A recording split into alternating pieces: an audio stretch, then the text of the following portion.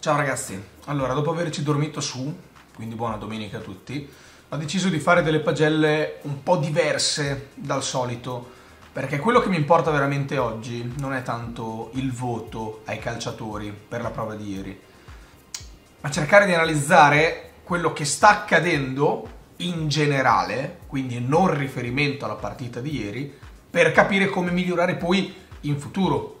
Perché lo torno a dire ancora una volta, ieri non abbiamo fatto nemmeno una partita tremenda. E se perdi anche quando non fai delle partite tremende, allora due domande te le devi fare. Attenzione, non è che abbiamo giocato bene, lo torno a dire, perché questa cosa l'ho detta anche nel video a caldo post partita, non abbiamo giocato bene, perché per giocare bene, per quanto mi riguarda, devi avere 3, 4, 5, 6, 7, 10 occasioni di gol pulite e noi non le abbiamo avute, perché noi stiamo parlando di una partita non tremenda, basandoci sul fatto che abbiamo fatto una bella azione per Chiesa, una bella azione per Quadrado, una bella azione per McKenny e poi ti rimporta la traversa di Ribala e Rabiot che la mette all'angolino con Musso che la tocca. Quindi due tiri in porta, creando 5 occasioni con due tiri in porta due tiri in porta. Tra l'altro la traversa non è nemmeno considerata tale, al 94esimo. C'è OneFootball, qui sotto in descrizione, scaricatelo, scaricate OneFootball, perché dobbiamo dare un occhio alle altre. Adesso dobbiamo dare un occhio al, Ver- al Verona, all'Empoli, al Bologna, al Torino, al Sassuolo, alla Sampdoria, perché vengono a prenderci. Più che guardare in alto in questo momento, paradossalmente, dobbiamo guardare in basso. Perché se è vero come è vero che oggi i tifosi argentini sono preoccupati di andare in Champions, Occhio eh, a continuare così, occhio davvero, perché il calcio non è scontato, non ti regala niente nessuno solo perché ti chiami Juve. One Football, gratis, fu sotto indiscrezione. Parto da Scesni, 6, che cosa gli puoi dire? Non ha fatto parate, ha preso un gol che non è palesemente colpa sua. 6 al portiere che assolutamente non ha colpe, anzi qua apro una parentesi, ha dei meriti delle due, perché lui, Quadrado, Delit, Bonucci e Dybala sono stati gli unici 5 giocatori a venire a salutare la curva alla fine della partita, perché quando ci vince è facile andare a saltellare sotto la curva e esultare tutti per mano, ma quando si perde la faccia va messa e questi 5 ce l'hanno messa poi magari McKenny, Chiesa, Chiellini, tutte queste altre persone che non erano in campo alla fine della partita, potevano andarci pure loro, ci sarebbero andati pure loro, non lo so. Ad oggi so che ci sono andati questi cinque, tutti gli altri che hanno giocato sono andati dentro. Due domandine, perché si sta giocando per la Juventus, onorare la maglia della Juventus e rispettare anche chi viene a vedere la Juventus in queste situazioni e vede a vedere degli spettacoli del genere, in cui ancora una volta torni a casa con zero punti. Zero punti.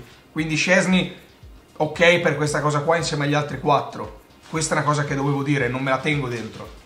Quadrado e Alexandro 5, perché se dobbiamo fare la differenza sulle fasce e questi sono i risultati, campa cavallo che l'erba cresce, eh? perché non siamo mai pericolosi sulle fasce. Dobbiamo sfruttare le fasce, gli esterni sono il nostro punto forte, eccoci qua. Delete 5, impreciso, ieri non era serata, ha sbagliato diversi passaggi, poi fa anche un po' fatica a salire sul gol di Zapata, non è la sua serata, 5. Bonucci 6, ci prova già di più, anche palla a terra, prova delle imbucate.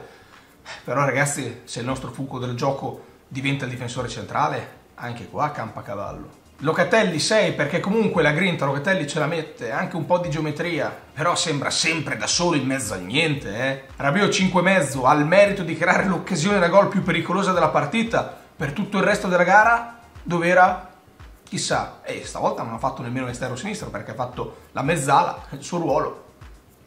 Ragazzi, sono dei giocatori che sono impalpabili, eh. McKenny 6, un altro di quelli che lotta, ci mette della grinta, ci mette della voglia, poi si spacca anche. Quindi nel momento in cui McKenny praticamente da solo ci aveva cambiato il volto al centrocampo, ce lo stava tenendo su e comunque con risultati di questo livello si fa pure male. Chiesa 5, non puoi sbagliarmi quell'occasione, l'unica occasione pulita che abbiamo nella gara, ne abbiamo poche Federico, cioè, se, se ci, dobbiamo metterci in testa che bisogna che la fight è la differenza, te e Dybala, perché sennò qui in mezzo, eh, 5, e poi si spacca anche lui, gioca solo un tempo.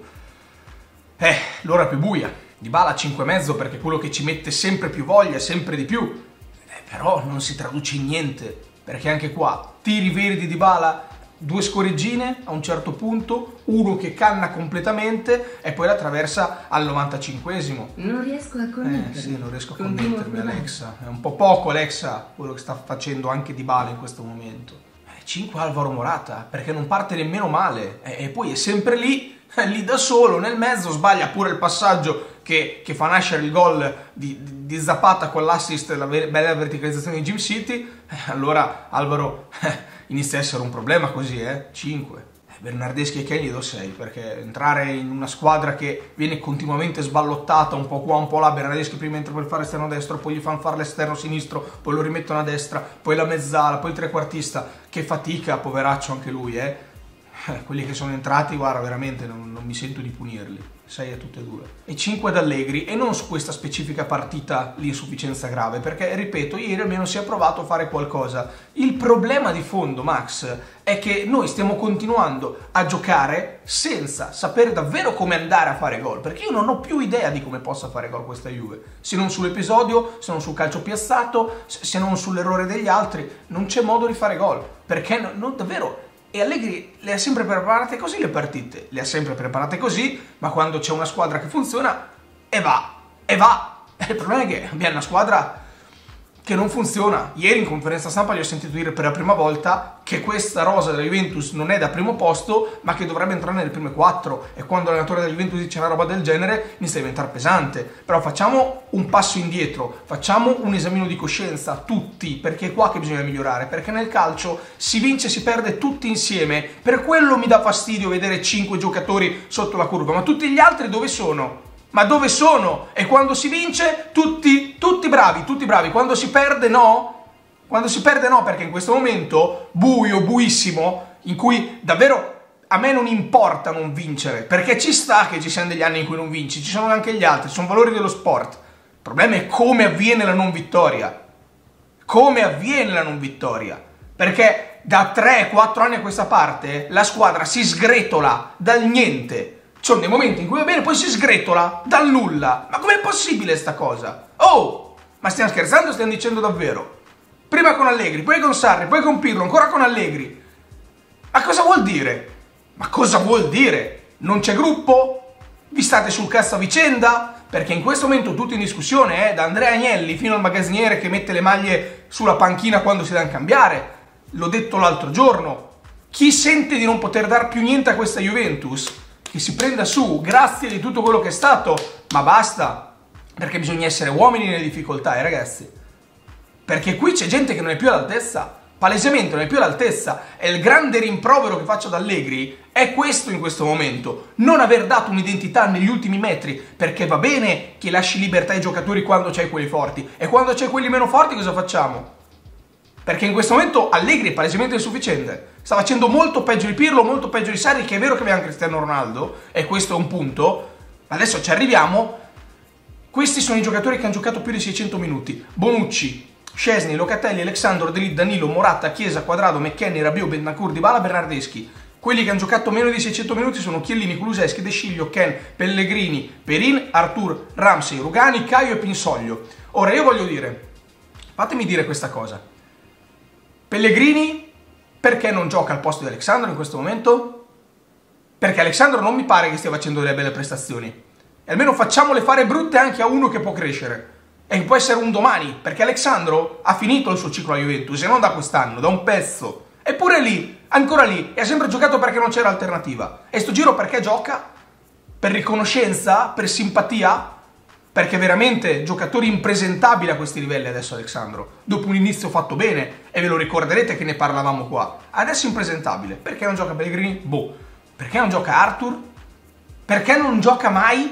Mai neanche un minuto dal primo minuto? Io mi ero dato una risposta, che era quella del ragionamento che fa Allegri, ma io adesso la cestino, io questa la cestino, perché non gioca mai Arthur? È più scarso di Rabiot? Ah, sarà più scarso di Rabiot, ma perché non ci proviamo?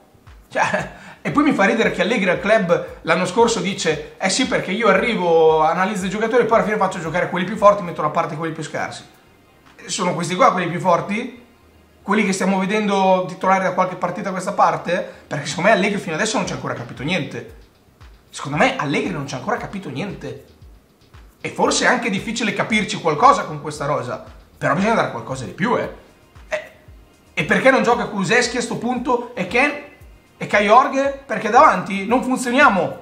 E allora perché continuiamo a schierare sempre gli stessi attaccanti? Vi do un dato, la Juventus ha segnato 18 gol in campionato, 18 gol in 14 partite. Meglio di noi, sotto di noi, hanno fatto l'Ellas Verona con 28, l'Empoli con 21, ok? Il Bologna con 19 e una partita in meno. Il Torino ne ha fatti 17 e ha una partita in meno. Il Sassuolo ha una partita in meno e ne ha fatti 19. La Sampdoria ne ha fatti 20. Ne ha fatto peggio il Venezia. Ah beh, allora a posto. Ha fatto 16 gol l'Udinese con una partita in meno. 15 gol lo Spezia con una partita in meno. 17 gol il Genoa con una partita in meno. 16 gol il Cagliari e 11 la Salernitana. Le ultime tre in classifica da zona retrocessione siamo palesemente meglio della Salernitana. Oggi il Genoa può recuperarci e il Cagliari ne ha fatti solo due in meno di noi. Le ultime tre squadre di Serie A. E di cosa stiamo parlando? Ma di cosa stiamo parlando? Di cosa diavolo stiamo parlando? Questa cosa non è normale. E adesso è vero che Alvaro Morata, poveraccio, non segna in campionato dal 19-9-21 nella sfida contro il Milan. Ha fatto due gol Morata eh, in campionato Milan e Napoli. Tutte le altre niente. Dopo aver giocato, eh, da, da quella partita col Milan ha giocato 31 minuti con lo Spezia, 82 con la Samp, 19 con la Roma, 90 con l'Inter, 63 col Sassuolo, 90 col Verona, 88 con la Fiorentina, 74 con la Lazio e con l'Atalanta ieri non mi ricordo quanti ne ha giocati. Ne ha giocati di minuti, eh, Morata da quei due gol lì. E poi in Champions ha fatti altri due, uno col Malmo e uno con lo Zenit. Quindi 4 gol in una marea di partite, in 16 partite per Morata, in 1090 minuti, che significa un gol ogni 272 minuti. Geco fa un gol ogni 126 minuti, Lautaro ogni 195, Correa ogni 102, Ibra ogni 89, Giroud ogni 187, Zapata ogni 123, Muriel ogni 121, Ossimen ogni 113, Mertens ogni 153, Immobile ogni 100, Tammy Abrams ogni 200, Simeone ogni 89, Vlaovic ogni 103 e mi tocca sentire tifosi della Roma che Abram non segna mai e segna ogni 200 minuti del peggiore della lista degli attaccanti che vi ho elencato, Morata ogni 272 minuti, quindi ci mette 72 minuti in più per fare gol rispetto all'attaccante della Roma che non segna mai. Allora Morata? E allora Morata? E ribadisco, non è un attacco ad Alvaro Morata, perché, diavolo, lo, lo, dico ancora una volta, non è normale che gli facciano fare questa roba qua ad Alvaro Morata. E allora vorrei chiedere a Allegri, ma non ti sei accorto, perché ieri ce l'ha ribadito ancora una volta, che Morata così gli fai più male che bene? È più danno che utile? E poi lo, lo dovrebbe conoscere abbastanza bene Morata. E anche lì al club è stato lucidissimo l'anno scorso Allegri nel dirti che Alvaro Morata non è un giocatore da competizioni sul lungo. Lo sa, e minchia se lo sa, certo che lo sa. E però continuiamo così? Continuiamo ad aver fatto 18 gol da media zona retrocessione? In 14 partite? Andiamo così.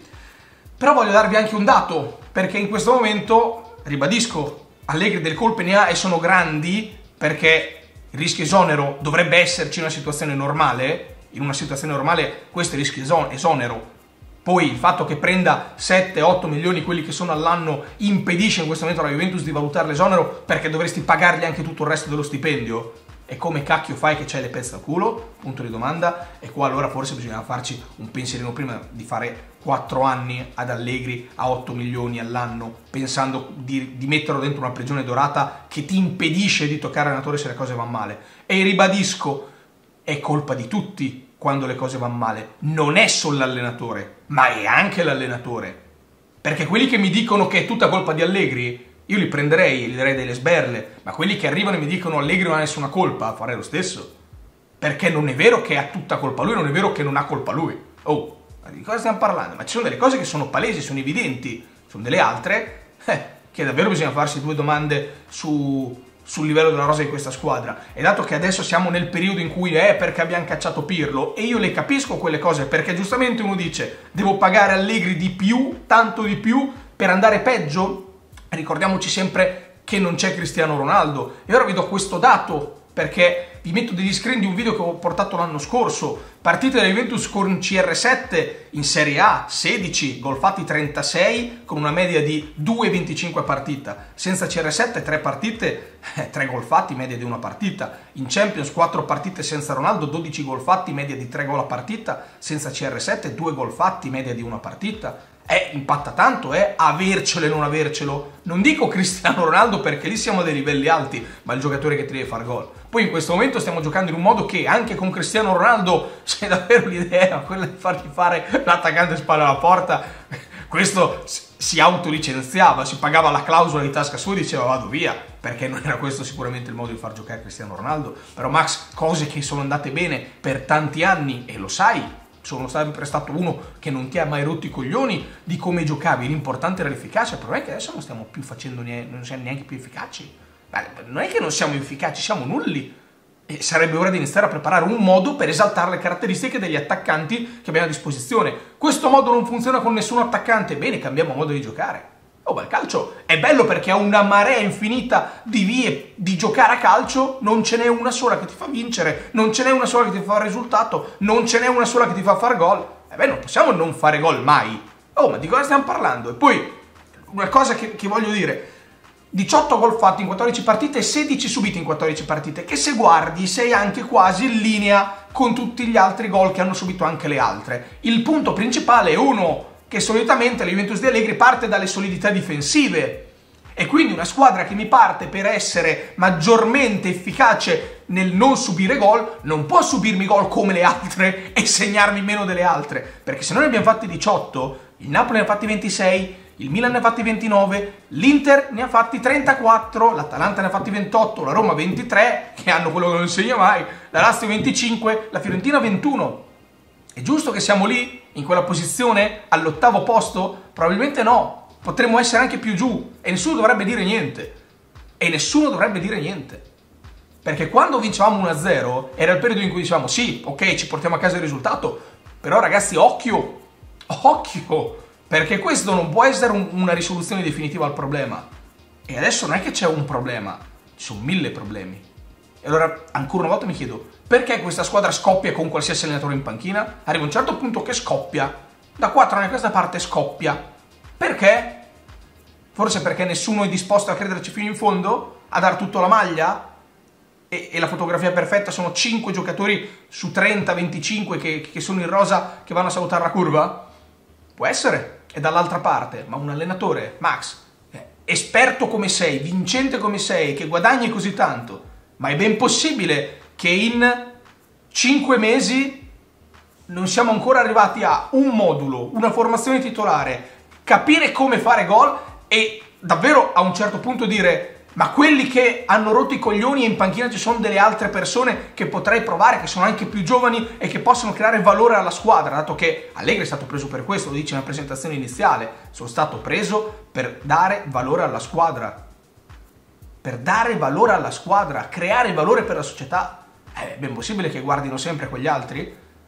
Va bene che sono scarsi, saranno scarsi, non saranno pronti, va bene, però almeno perdiamo con della gente che potrebbe un domani essere ancora da Juve, perché ci sono dei giocatori che da Juve non lo sono più, non lo sono più da tempo e non vengono neanche a salutare la curva a fine partita. Allora che cosa ci state a fare lì? Davvero tutti in discussione, eh? da Agnelli, Allegri ai giocatori, a Nedved, ai magazzinieri, alla preparazione atletica, al social media manager, chiunque, tutti i tesserati della Juventus devono farsi il suo esame di coscienza. Tutti! e poi mi fa ridere, eh, perché qua, rido per concludere il video, perché c'è della gente che mi dice che io sono pagato dalla Juventus per non criticare mai. Io, io sono pagato dalla Juventus per non criticare mai. Eh già. Eh, sì, infatti. Magari.